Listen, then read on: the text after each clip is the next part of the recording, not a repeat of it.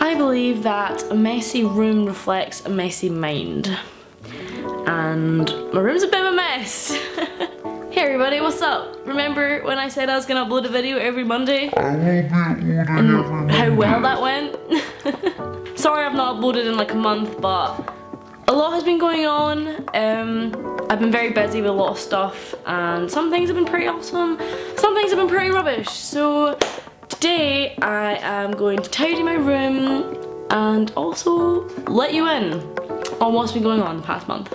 First off, I turned 22, which was, you know, pretty uneventful apart from gaining an extra year of my life. Um, the one day in my life that I'll have Taylor Swift stuck in my head all day, which was uh, different. The day I got my phone back I was actually going to film a day in the life of an exchange student and I filmed a few wee things and I was trying to get assignments done but then I got locked inside the building at the university which was uh, interesting. I didn't actually film any of that, that's a whole other story for a whole other time but that was a thing that happened. that was uh, interesting. Uh, that same day I got locked in the building, I also had a birthday party, but it was not just for me, it was for also my friends Kevin and Tally who also have birthdays in June. Yes, my microwave lives on top of my washing machine.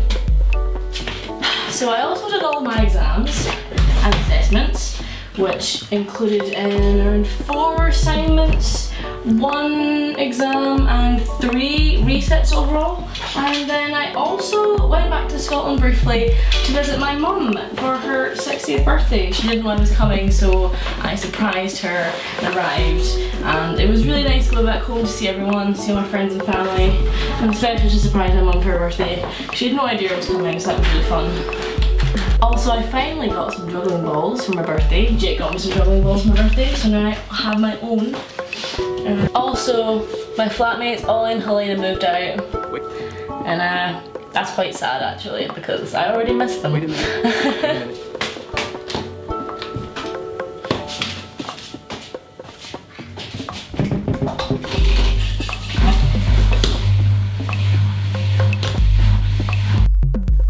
Since starting this video earlier on today, my other flatmate Ataman just moved out. So now I'm officially 100% alone in one of the grimmest flats ever. I know I said this in my last vlog, but the weather here has just been absolutely fantastic. Like, I've not had a summer this nice in so long, and I know back in Scotland at the moment it's also very nice, and they've had like record-breaking temperatures. Um, but it's just been really nice being out here and enjoying the nice weather, so I've been swimming in the canal a few times, and I've been going out cycling, and just generally enjoying the sun, which has been a nice positive part of the end of my time here.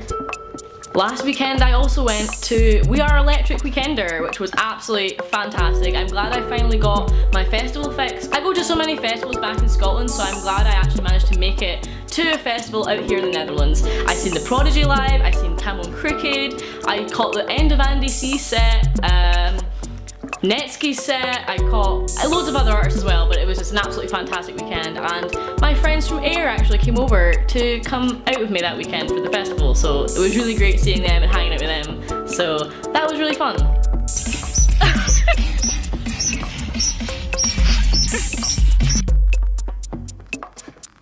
so that's all the great fun happy things that have been happening over the past month. But there's one main thing that's been pretty rubbish and it's kind of stemmed other thoughts and feelings in my brain and and that is that out of the nine modules that I did while I've been here, I passed all of them apart from one, which was Applied Research.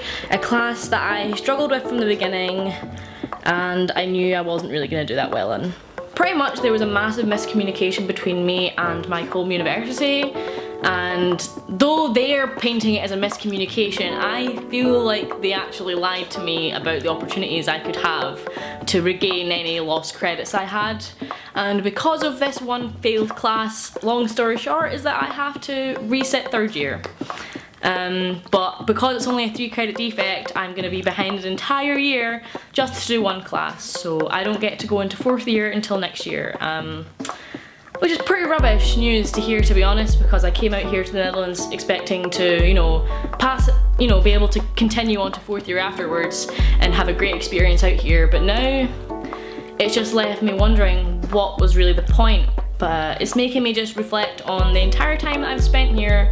And I feel like I wasted so much time stressing and worrying and putting so much work into my uni work and now it's not really equated to very much of anything considering I'm not getting to continue on um, to fourth year after this trimester. Um, Obviously when I found this out it was really upsetting and frustrating but obviously as the times went on and I've had it sitting in my brain I've came to the realisation that it's probably going to be better for me in the long run because I'm going to have more time to really focus on my production company that's getting started back home and maybe even my own YouTube channel.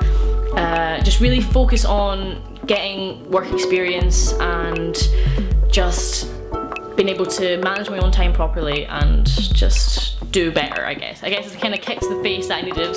Um, and yeah, obviously it's not great that I'm going to be left behind here, considering it's just because I failed one out of nine classes that I did.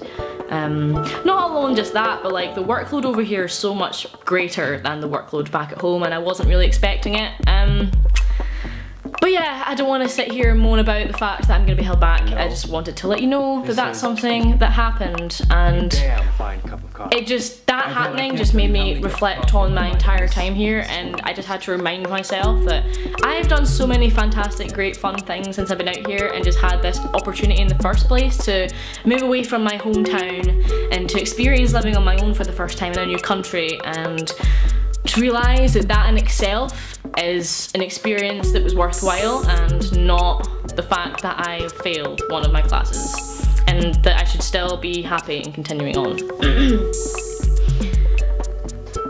so I officially today only have two more weeks left in the Netherlands and it's making me, again, I'm just in a very reflective state of mind at the moment. Uh, definitely an overthinker. Uh, I think that's not a great quality about myself. Um, lots of people in the exchange class have been just moving away, everyone's slowly picking and leaving and going travelling and a lot of people that I met I'm never going to see again and I never really got to say a proper goodbye to most of those people which is a little bit frustrating but at the same time it's made me realise that you know whether or not I was really fantastic friends with all these people doesn't really matter because overall I've had a great time. But in that I've been getting a lot more aware of how people are acting around me and treating me. And I don't know what it is, but I just I have been having a lot of insecurities around people that I've been hanging out with and within that I've been pushing people further away from me and it's not very healthy. So yeah, I just thought I'd express what's going on in my head at the moment. Like, as I said, messy room, messy mind. but, like I said, so many people are leaving and people, the end is coming and it's very real. Um, and reality is hitting hard.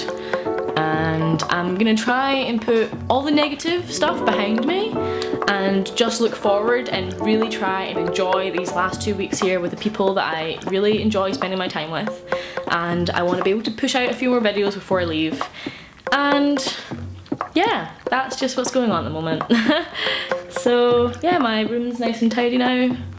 And my mind also feels tidier now too now that I've kind of expressed my feelings a little bit.